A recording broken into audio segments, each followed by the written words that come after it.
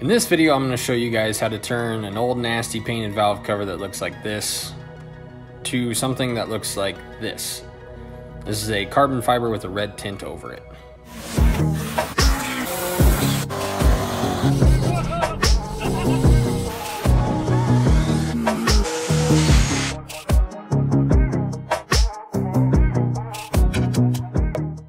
So the first step is to prep the valve cover, get rid of all the old junk. So use a variety of wire wheels, nylon wheels, and an air sander. Uh, the sandpaper grit I'm using is 220. This is really just to kind of knock down the stuff on all the flat surfaces because there's a ton that you can't get to with the sander, and that's when the wire wheel comes in. So just kind of knock down everything you can and then go over with the wire wheel. All the corners and all the kind of the deep little ravines that are on these valve covers make it really hard to prep, but uh, the nylon wire wheels are great because they don't shear wires off into your eyeballs, so they're they last a lot longer and they're uh, they're flexible too, so you can kind of press them into the corners that uh, otherwise would get eaten up by a wire wheel.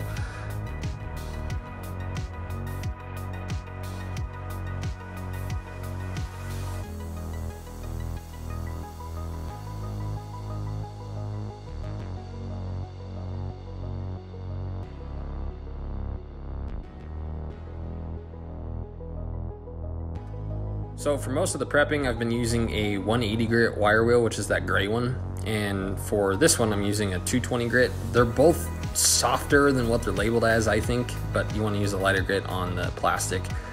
Um, then I'm just using a Scotch-Brite pad and dish soap because dish soap degreases. So this kind of helps just do a once over or anything, lift anything off you may have missed.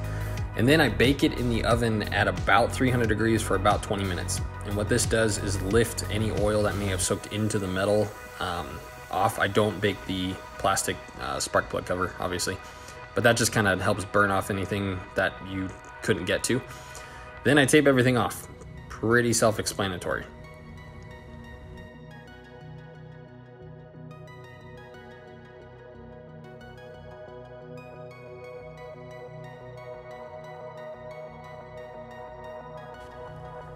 After everything is taped off, uh, we're ready to prime. So I use Tamco's Direct to Anything primer. It's an epoxy primer, and I cannot express how much I love this stuff.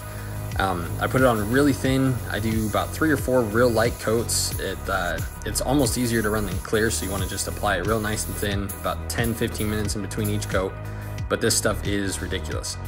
And then on the plastic uh, spark plug cover, I use a adhesion promoter first real, uh, I do two coats, just real light, like you want to dust it. And then I use a high build 2K urethane primer, which is just like normal car paint primer.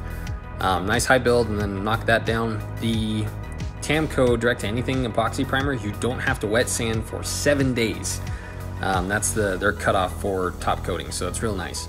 And then for color, I've been using this stuff for five years now. It's just VHT. You can find it at most auto parts stores. It's a high temp spray paint.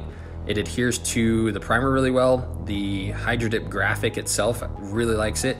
I've never had any issues with this. I do not recommend their primer, but I do recommend their paints. It's just, it, it works and it's cheap.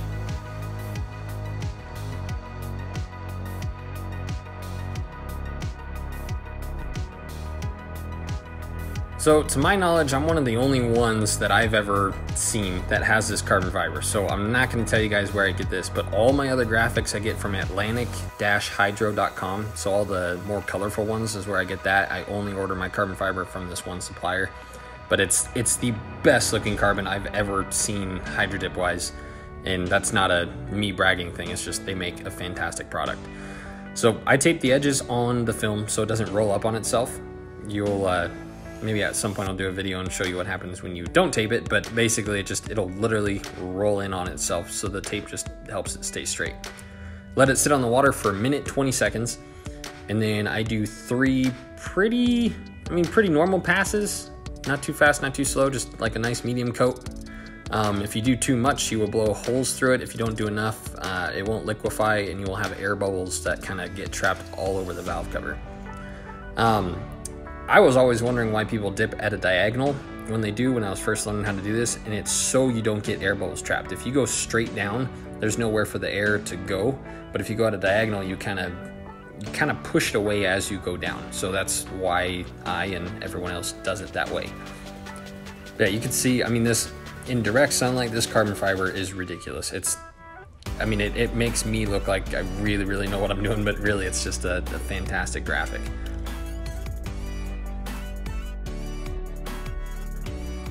This part is also pretty self-explanatory, but basically there's a, a slime that's kind of left on the film. And so by rinsing it off, you're pushing that away. You see the, the white suds are kind of an indicator of if you still have more rinsing to do. And when you're all done, it'll kind of have a matte finish. And it, in on camera, it's hard to see, but like there you can kind of tell it's a little bit, you know, the water runs off it. And then I let these sit overnight. Um, I've heard a lot of mixed opinions on this. Some people shoot, you know, they'll blow the water off and they'll shoot clear an hour after they dip it.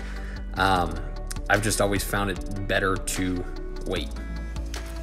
13.5 hours later.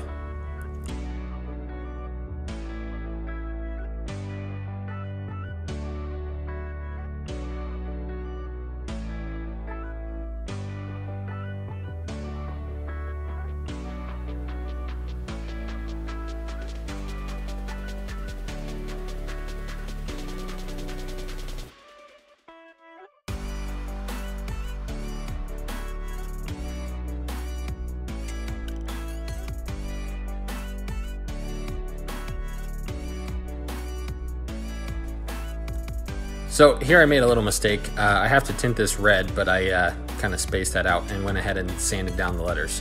So uh, beforehand, I sanded those down um, when it was just in primer because the primer is really thick. So I sanded that down and then sanded again, makes it a little easier to make a clean, clean finish.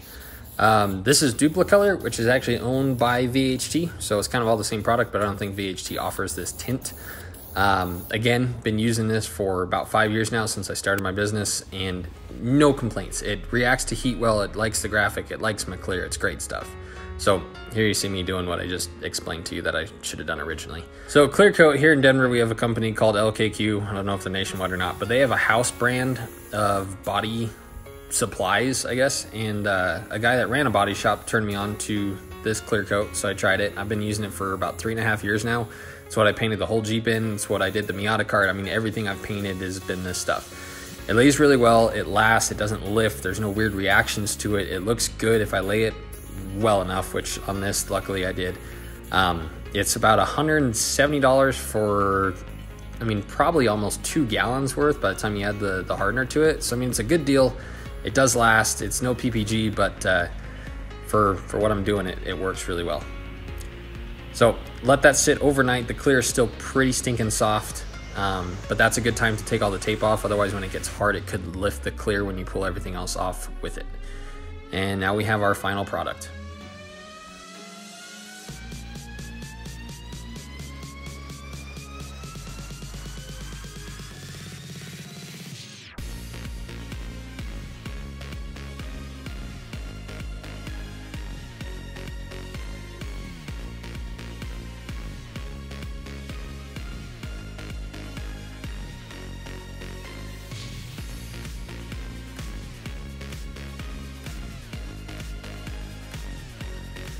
All right, guys. So last video, I asked you guys to critique the channel, and you did, and I appreciate it. The biggest complaint was none of our projects are done, which is extremely true, and I'm sorry. My mind is just bouncing back and forth between everything. So we're gonna finish the Miata cart because it's closest to being done. We're gonna bounce back to the Jeep, build a roll cage for it, get it running and driving, NA, put a light tune on it, and just see what it does and enjoy it this year.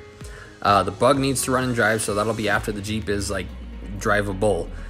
Um, and then we've been filming a bunch of random stuff, which I don't know if you guys like, but it's it's fun when I have friends come by and we just do shenanigans. So there's going to be some random stuff of that coming through. Um, I worked on the Mini Cooper one night, and then everything else got in the way. Drained a bunch of diesel out of it, got it to fire, but uh, I think there's more diesel left in it. So we're going to pick up on that whenever I find time. Um, so for now, we're going to finish the Miata cart, bounce back to the Jeep, and then the bug, and we'll just keep moving. Thanks, guys.